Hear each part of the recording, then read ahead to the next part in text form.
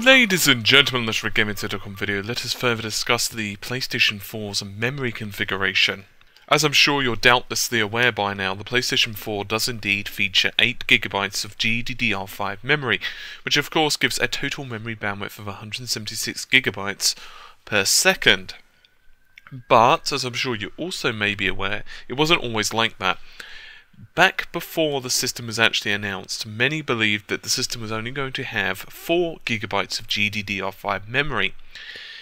And there were recent quotes from Ashan Rasheed that back in early 2012, when the PS4 only did have 4 gigabytes of GDDR5 memory, a developer in the EU region claimed the Durango, which used to be the code name for the Xbox One, tosses the Orbis in every metric. By the way, guys, I do actually have a article written with this, and it's got all of the relevant screenshots and links and all the other bits and pieces that you would expect, including more of my thoughts and opinions and uh, some specs written down for you. But then he also clarified on this and said that when the 8GB of GDDR5 was announced, certain developers were literally left speechless. I'd like to point out, and this is out of quote, I'd like to point out that this isn't the first time we've heard such statements.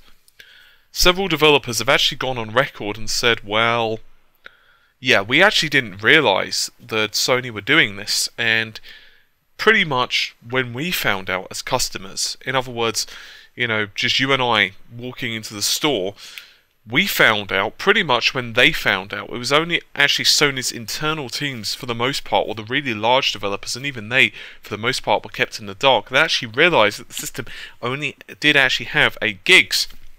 And the reason, as far as what we understand, is it was a last minute decision.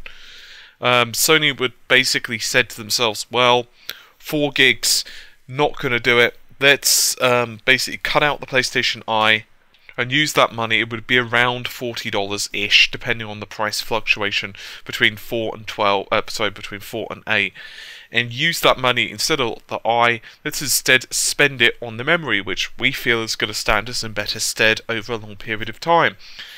And I think it was definitely the right decision. The PS4 does have a better GPU, right? We know that, but it means very little if it doesn't have enough memory.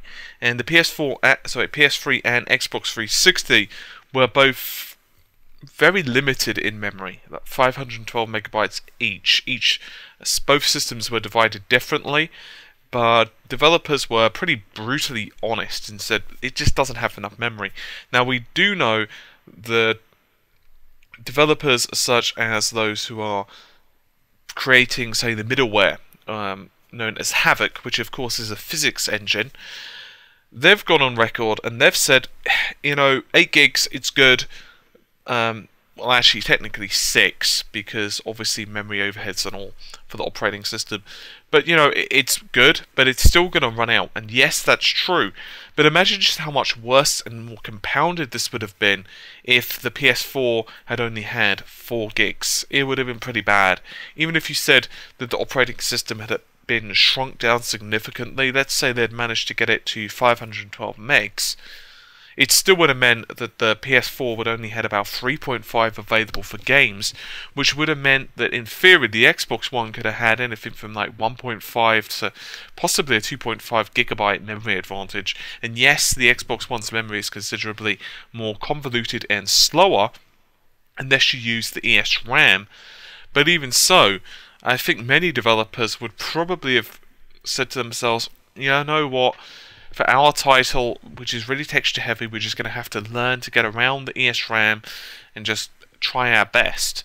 And I think it would have meant that there would have been a hell of a lot more texture streaming and emphasis on those. Uh, okay, well, we're walking on this little cut section, you know, you're doing the whole walking while talking on the radio, you know, which really started in Gears of War, which of course means the system's loading in the background, you know, the next generation, the next textures and audio and stuff. Anyway, um, that's just about it for this particular video. I'm not going to say much more because I'm nursing a bit of a sore throat and I've still got to do the Steam sale later. As I said, I've wrote down more thoughts and opinions on this. You can check them out in the article if you so wish. Meanwhile, I'm going to get going. I'll see you soon. Take care. Bye for now.